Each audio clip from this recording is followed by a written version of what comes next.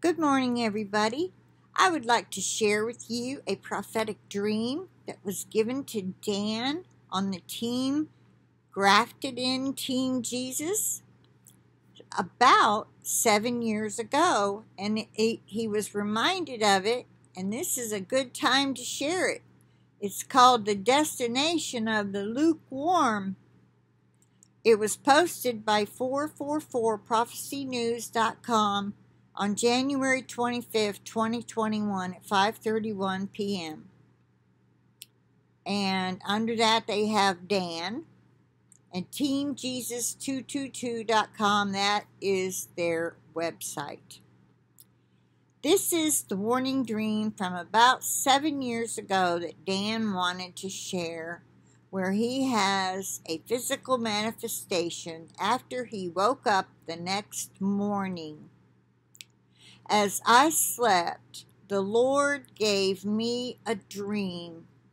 I came out between two buildings that had been blown to bits in what looked like a war torn area. I walked with another person, but I did not see their face. However, I knew they were my friend in the dream. We walked down a small opening of concrete that had been blown to bits, and shrapnel of all kinds, very bullet ridden concrete, and then stepped out to the right onto a road. As we came to the end of this town, there were two fields.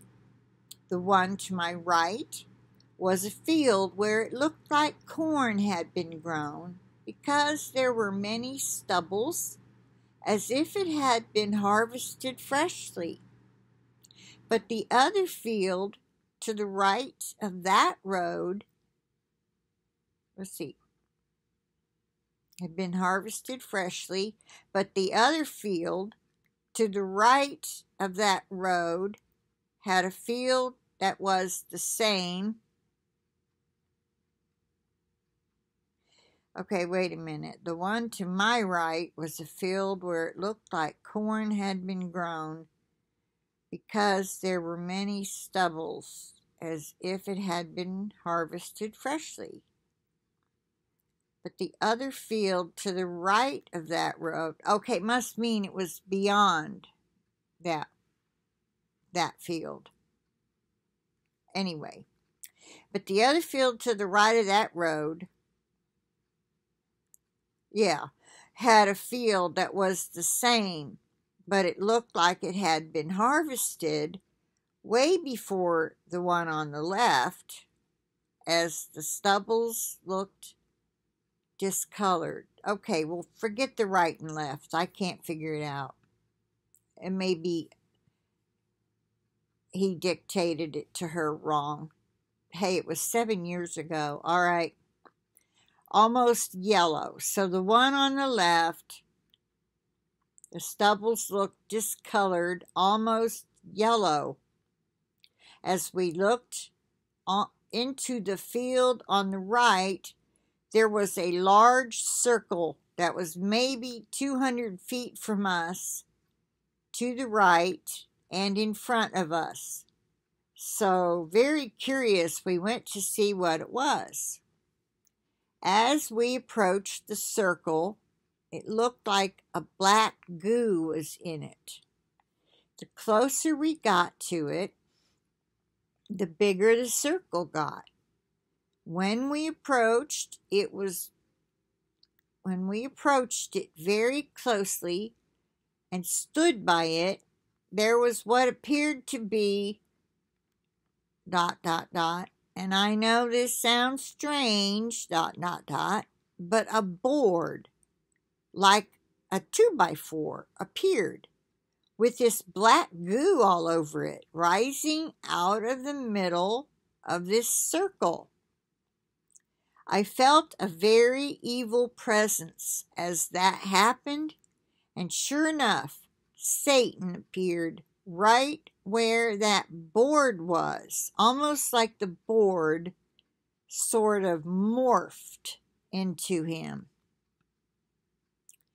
At this point, many people came out of nowhere, some dressed in normal clothes, others dressed in a black cloak with red inside of it with a hood over their faces. Satan spoke and said, If anyone will follow me, I will give you everything that you long for. Who will follow me? Many people said that they would, and when they did, he said with a very evil tone, Okay, good. Well, you can just imagine. And as he looked at the people who would follow him, a sinister smile came over his face. The people who said they would they would started falling forward into the circle of goo, almost as if they were being pulled in. And I yelled at Satan and said, I will never follow you. I have my Lord and my King already. He ignored me and looked past me to my friend, who stood to my right, to my right side, and didn't even ask him. And my friend said, I don't know, as if unsure if he should, and began falling forward. He fell into the circle of goo, and as he did, it caught fire. Now the whole circle was on fire, and I could see many people who had fallen into it already screaming. How horrible! as I tried desperately to grab my friend's arm and slipped down to his hand as I tried with all my strength to keep him from falling. I yelled and said, No, you can't have him. I knew that my friend did not make any choice, parentheses, lukewarm, close parentheses. He couldn't even make the decision to say, No, Satan, I'm not following you. And because of it, Satan had that over him. But my finger was all I had left, holding on to his wedding ring that was on his finger at this point, and I knew I couldn't hold on much longer. Because his ring was so hot from the flames, I had to let go as it was burning my right index finger at the top, and I let go. I woke up and was literally hurting in my heart for those who had perished.